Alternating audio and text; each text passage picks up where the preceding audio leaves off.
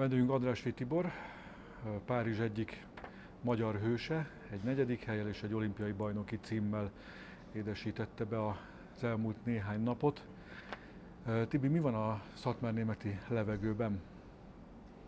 Nem tudom, de nagyon jót tett, hogy ellátogattam oda július elején nagypapámnak a 83. születésnapjára, és ott töltöttünk egy hosszú hétvégét, még a pénteki edzésről is kértem magam, hogy kicsit több időt tudjunk ott tölteni. Egyébként gyerekkoromban nagyon sokat voltunk ott, unokatestvéreimmel, édesanyámnak a, a testvérével, nagyszülőkkel ott így nagyon jó volt a kertben kint lenni és együtt játszani, és akkor így anyáéknak meg volt oldva az is, hogy nem, nem nekik kellett ránk vigyázni a nyári szünetbe, mi pedig nagyon jól éreztük ott magunkat, és nagyon szívesen járok oda-vissza így egy évbe egyszer.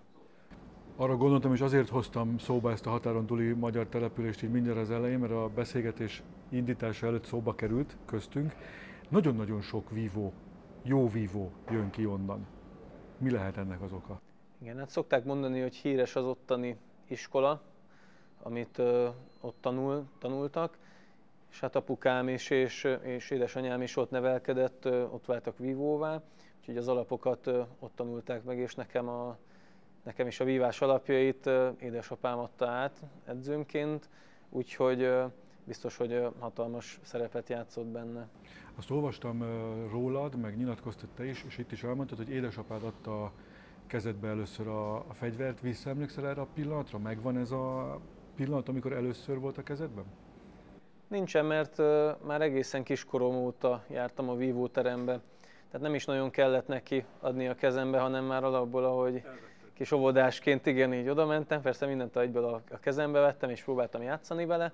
Még ilyen emlékképek vannak meg a fejemben, hogy a BVSC-ben volt, hogy úsztam egy pár évig, amikor még túl fiatal voltam a víváshoz, és akkor oda beírattak, hogy, hogy tanuljak meg úszni. És akkor utána átmentem a BVSC-be, amikor már apa edzést tartott, és akkor ott néztem, ahogy a nagyok lábmunkáznak vagy vívnak, és már alig vártam, hogy én is elkezdhessem.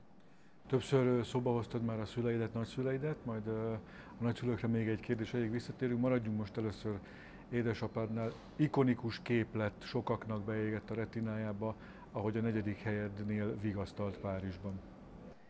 Igen, ott szerintem mindketten egyszerre voltunk szomorúak és boldogak is. Rajta is azt éreztem, hogy nagyon sajnálta azt, hogy nem jött össze az érem, mert ezért dolgoztunk tényleg gyerekkorom óta. Viszont azt is éreztem rajta, hogy, hogy nagyon büszke rám és nagyon jól esett ez. Hát azért mégiscsak az első olimpiámon egyéniben negyedik lettem, és azért nem is akármilyen ágon voltak nagyon kemény ellenfelek, akiket legyőztem, és nagyon közel voltam egy még szebb sikerhez, úgyhogy ebből aztán próbáltam erőt meríteni. Szokták mondani sportolók, hogy a, édesapjuk, édesanyjuk, aki ugyanazt a sportágat űzte, amit ők, azok a legnagyobb kritikusaik. Te ezt hogy, hogy éled meg? Neked édesapád kritikus-e, vagy edzőként azért, azért egészen más ez a, ez a viszony? edzőként kritikusnak is kell lennie, én inkább maximalistának mondanám, azért vannak elég nagy elvárásai, de szerencsére nekem is magammal szembe, tehát azért mindketten tisztában vagyunk a, a képességeimmel, és hogy mennyi mindent ki tudnék hozni magamból. Nyilván van olyan, hogy én érzem, hogy az a nap nem az a nap lesz, amikor én ki tudom hozni magamból azt, ami mondjuk a, tudásomnak megfelelő lenne, és akkor van, hogy egy kicsit szokott bosszankodni, de ezeket is jól meg szoktuk beszélni. Anyukám pedig szerintem soha nem illetett kritikával így a vívással kapcsolatban, nem ő mindig csak támogatni próbált, és hogyha nagyon csalódott voltam, vagy ideges voltam, hogy valami nem úgy sikerült, akkor is igyekezett megnyugtatni. Ha már szóba hoztad ezt az az a nap, az a nap dolgot, számtalanszor hallottuk, ugye most az olimpia alatt is, de korábban is, hogy egy vívónak napja van. Magyarázd ezt el nekünk, légy szíves, hogy ez, ez mit jelent. Tehát ezt, ha reggel fölébredsz, akkor már tudod, vagy azért föl kell menni a pástra? Vagy milyen lelki állapot ez? Hogy lehetne körülírni ezt? Ezt egy utólag lehet megállapítani, és akkor így utólag visszagondolva lehet mondani, hogy na hát igen, reggel már azért éreztem, hogy, hogy itt ez jól is elsülhet. Most mind a egyéniben és a csapatban is éreztem már a melegítésnél is, hogy úgy jó formában vagyok, könnyednek éreztem a mozgásomat, de persze az nem jelenti azt, hogy amikor fellépek a pástra és kilépek a 8000 szurkoló elé, akkor nem lesznek ólomból a lábaim, vagy nem fog nagyon kalapálni a szívem, de szerencsére ezt is nagyon gyorsan az első pár másodpercében az asszónak le tudtam vetkőzni, és nagyon élveztem a vívást. De egyébként ez az utóbbi időszakra el is mondható, hogy már az Európa-bajnokságon is nagyon jól vívtam, úgyhogy örülök, hogy a szezon vége az ilyen jól sikerült. Az olimpiai döntőre áttérve, melyik szakaszában izgultál jobban, amikor a páston voltál, vagy amiután lecseréltek? Szerintem nézni az asszót mindig nehezebb, mert akkor azért tehetetlen az ember.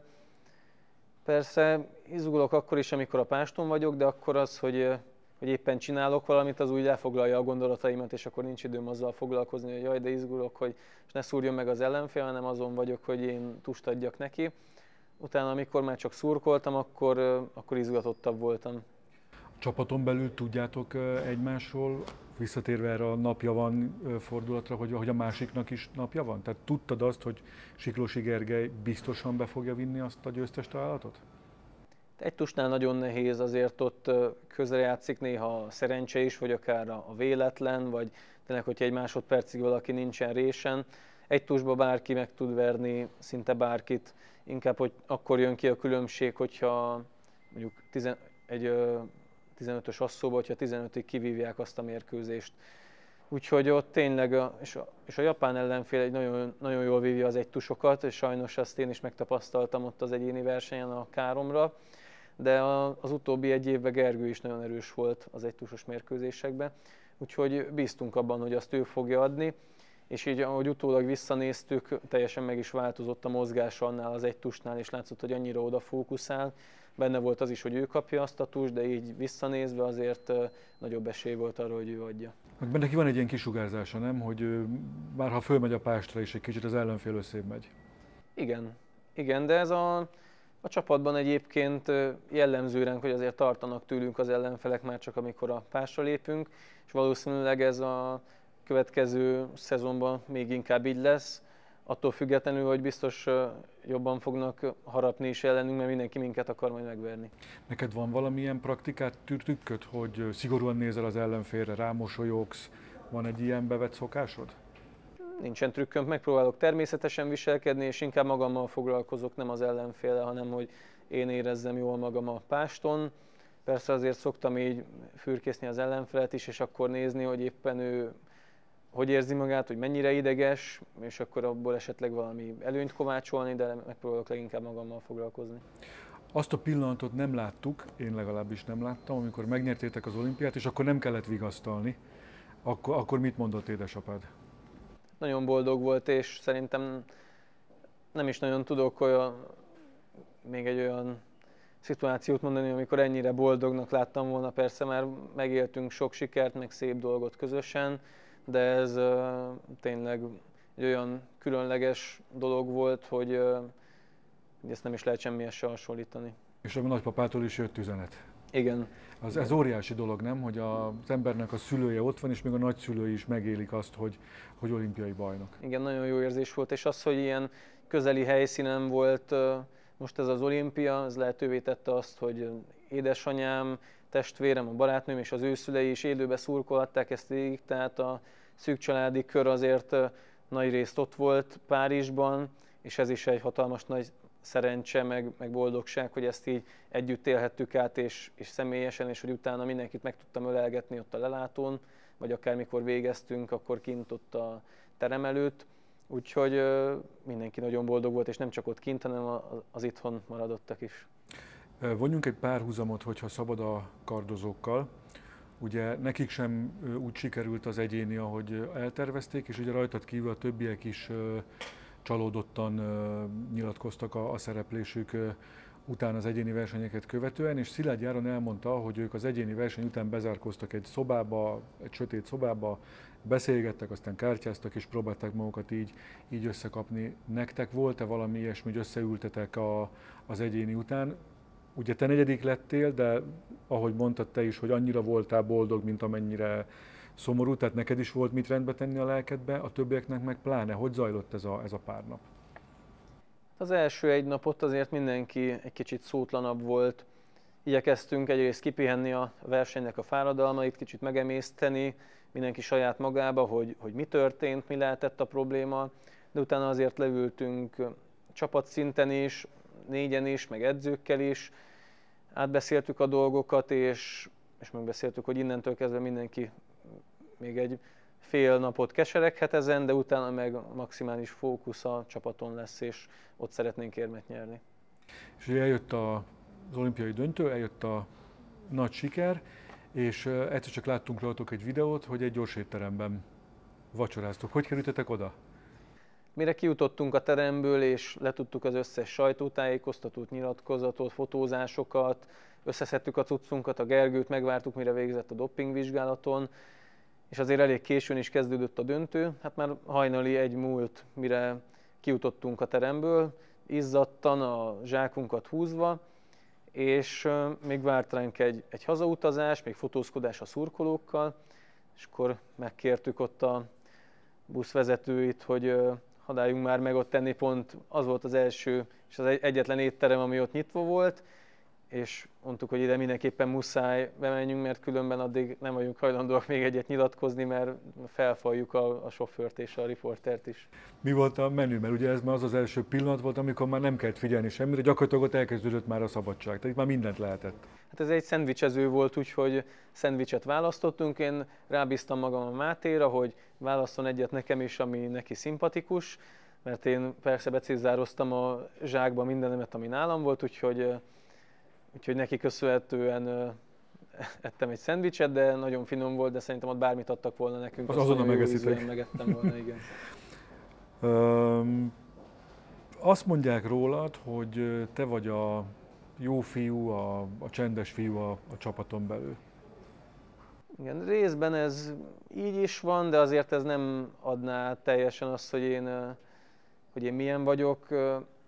Az igaz, hogy, és azt sokszor szokták rám mondani, hogy megbízható vagyok, kimért és fegyelmezett, és ez szerintem kell is a víváshoz, de azért magánemberként ennél azért kicsit mélyebb és összetettebb a dolog, és sokszor a barátaim vagy családtagjaim jókat szoktak mosolyogni ezen a, ezeken a jelzőkön, amikkel illetnek engem, de persze mindenkire ráragadtak már ilyenek az évek folyamán, és valószínűleg még egy jó pár évig ez rajtunk is lesz. Aki veszi a fáradtságot, vagy akinek van ideje és lehetősége, és jobban megismer minket, azért biztos vagyok benne, hogy ennél a pár jelzőnél jóval részletesebben is le tud majd minket írni. Azt is olvastam rólad, hogy te úriember vagy a páston. Igen, nekem nagyon fontos a, a fair play is, és nem is olyan jó érzés nekem akkor nyerni, hogy hogyha nem tisztességes, vagy nem szoktam arra törekedni, hogy a hogyha van egy két estus, mondjuk kiszúrok a földre, vagy magamat megszúrom, akkor azt egyből beszoktam mondani. Ezt el is várom egyébként az ellenfeleimtől. Engem így tanítottak a vívóterembe is, és, és így neveltek, és nem azért csinálom, mert hogy ez nekem így, így örömet okoz, és ezt így érzem korrektnek. Azt mondjuk ugye, hogy csapatarany válogatott arany, de ugye az embereknek a a szemében az az első kép, amikor látnak egy válogatott csapatot fölsorakozva mondjuk a csarnokban, a medence partján, vagy egy, vagy egy nagy stadionban. Um, hogyan lehet a tiétek válogatott? Mi a, mi a kapocs köztetek? Mi az, ami összetartja ezt a, ezt a csapatot? Elsősorban szerintem a közös cél, és az, hogy már nagyon fiatal korunk óta így együtt vagyunk. Tehát már nyertünk kadett Európa bajnokságot, junior Európa és világbajnokságon is érmeket, aranyérmeket, és már akkor is így fogalmazgattuk magunkba, mert nagyon jól éreztük magunkat ebben a csapatban, és jó érzés volt így vívni. Nyilván ez sokat hozzátett az is, hogy mindig volt eredmény, és volt minek örülni így közösen. De akkor már így megfogalmaztuk, hogy felnőttben is ezt szeretnénk továbbvinni, és aztán amikor így először összeállt ez a csapat, kicsit később, mint szerettük volna, mert azért közbe jött a Covid is, ami miatt elmaradt Európa-bajnokságunk, meg fontos versenyeink, és nagyon nagy öröm volt újra ezekkel a srácokkal együtt vívni, és akkor ott megfogadtuk, hogy ezzel a négyessel szeretnénk kijutni az olimpiára és megnyerni. Ki a főnök? Nincsen főnök szerintem a csapatban. Egyenrangúként kezeljük egymást, hogyha Gergőt emelném ki talán egy kicsit, mint rangidős, és neki azért úgy nagyobb rutinja van a dolgokban, talán sokszor bátrabban is kimeri fejezni a véleményét, akár az edzők, edzők felé is. Belőlünk ez az elején, amikor azért bekerültünk a válogatottba, ez hiányzott, ő akkor már rutinos tagja volt, de szerintem nagyon jól fel tudtunk nőni mellé, illetve ő is jól be tudott illeszkedni a mi fiatal csapatunkba. Úgyhogy azt gondolom, hogy ezek mind kellettek a sikerhez. Visszatérve még az olimpiai döntő utáni pillanatokhoz. Szilágy Járon posztolt egy képet a közösségi médiába, ugye rajta voltatok ti is és a, és a karcsapat is, és egy ilyen nagy mosolygással annyit írta a képben, hogy ennyit a víváson belüli ellentétekről. Szokták így ezt mondani, hogy szakágak között van rivalizálás, vagy akár ellentét is? Szoktuk szívni egymás vérét azért néha, akár az edzők is a másik fegyver, fegyvernem edzőinek a, a vérét, és akkor tesznek megjegyzéseket, de ezek inkább csak így viccből vagy játékból, és senki nem veszi ezeket bántásnak. Én nem éreztem soha azt egyik fegyvernem között se, hogy olyan óriási nagy ellentét lett volna. Mi, mi abszolút jó kapcsolatot ápoltunk mindig a törözőkkel és a kardozókkal is, és nagyon szívesen találkoztunk velük akár itt civilben is egy hétvégén. Párbajtör csapatot mondjuk föl tudja húzni, följebb tudja emelni a kardozók sikere? Igen, mindenképpen motivált minket az, hogy láttuk, hogy nekik már összejött az, hogy ott döntőt vívhattak, és hogy szurkoltunk nekik.